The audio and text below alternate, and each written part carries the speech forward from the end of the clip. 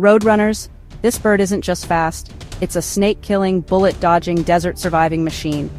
With a top speed of 32 kilometers per hour, its X-shaped footprints are optical illusions. Whether it's running toward you or away, its tracks look exactly the same, making it nearly impossible for predators to follow.